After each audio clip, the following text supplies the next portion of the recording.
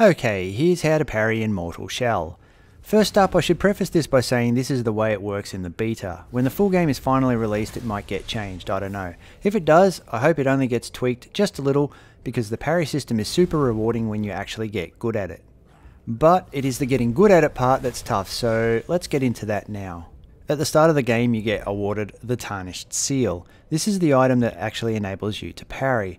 The parry button is the left button on a controller or F on keyboard if you weren't sure. The tarnished seal sits on your lower back.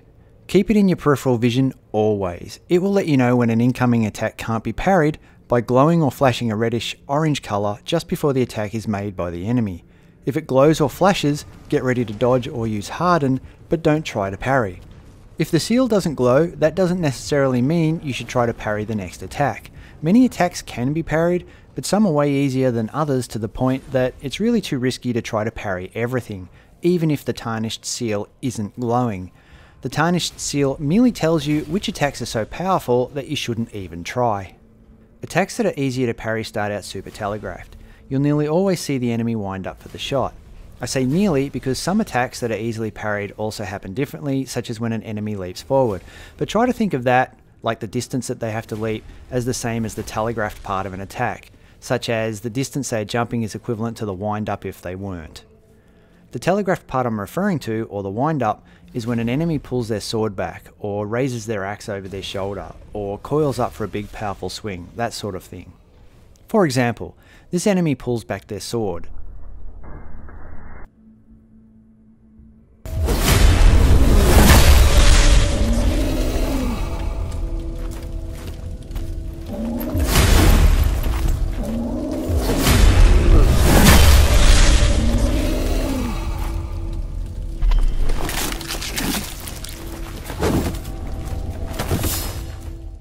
You can see here the boss coils up, ready to do a big swing.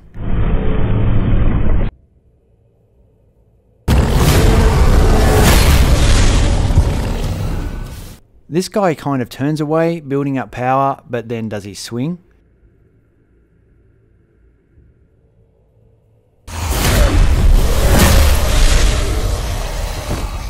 Or the same guy can raise his weapon up high, but that's still an obvious enough telegraphed movement.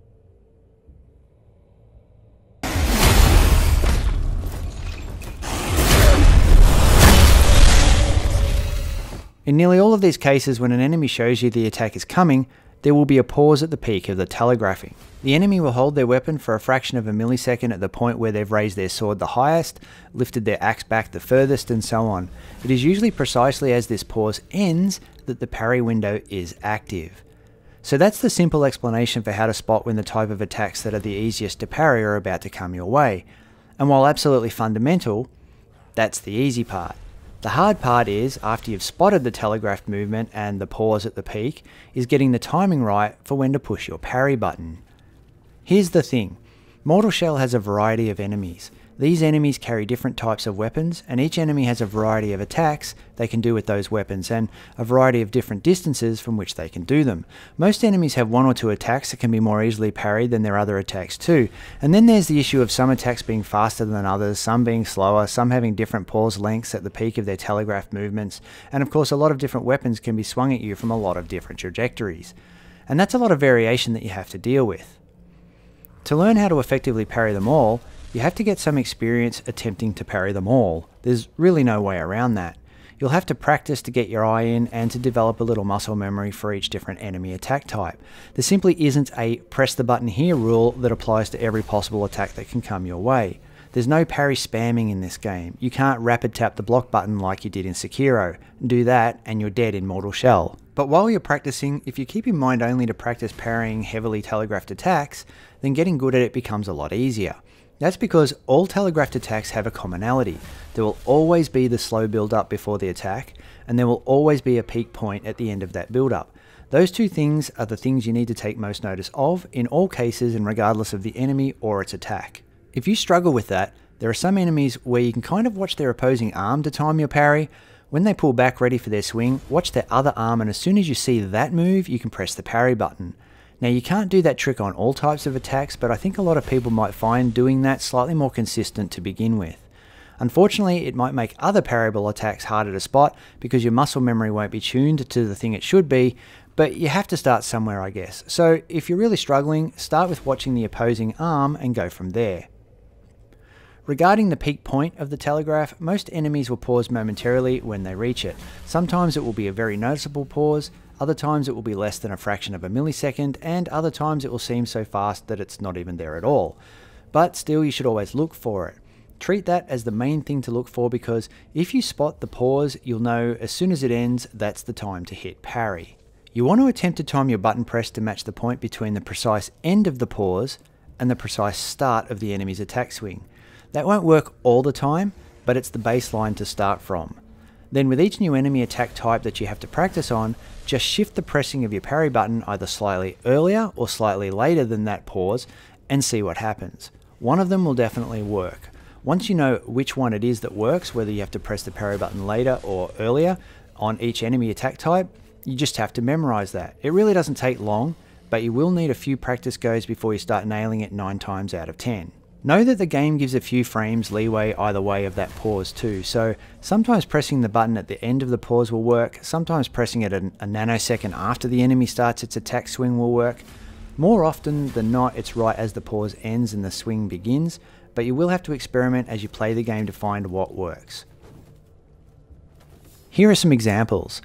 This boss has a big lumbering swing with a huge arc that takes a little longer to reach you, it's got to cover a bit of distance, and so pressing your parry button slightly after his build up and pause ends is the right time. Always take note of your position. If you're a little further away, you'll want to delay your press by just a little bit.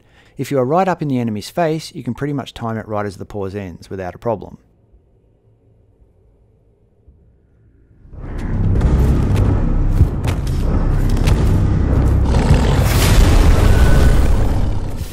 Compare that last one to this one. Here we have a short and fast swing that doesn't need to cover much distance, and so the game will give very little leeway after the attack starts, but a little more closer to the pause itself. So you can even press it during the pause if you nail it just before the pause ends.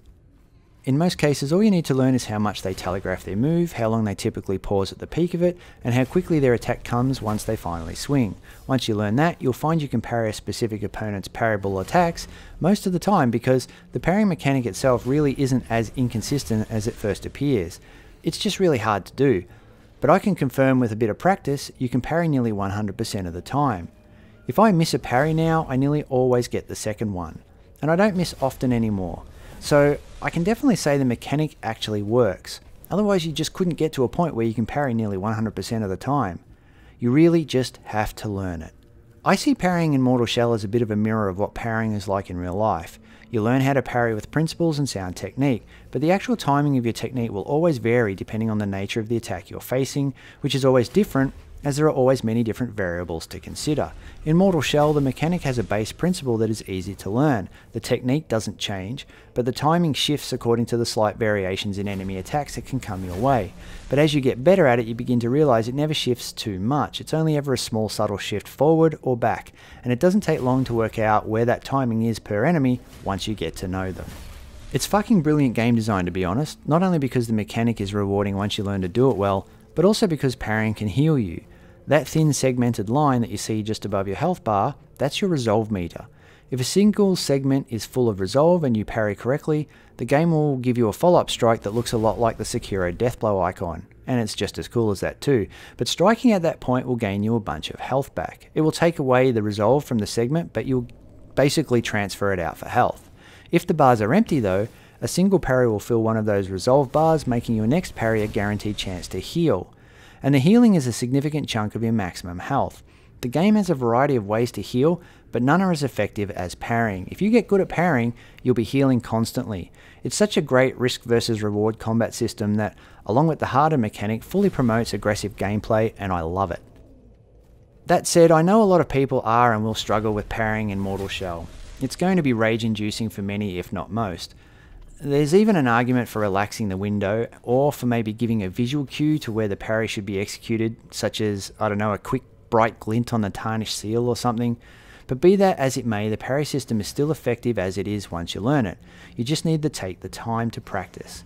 You likely won't make it 100% consistent, but you can get it to 8 or 9 times out of 10 for sure. And when you do get it to that point, it's so damn rewarding and awesome to parry your way through enemies. It's just great.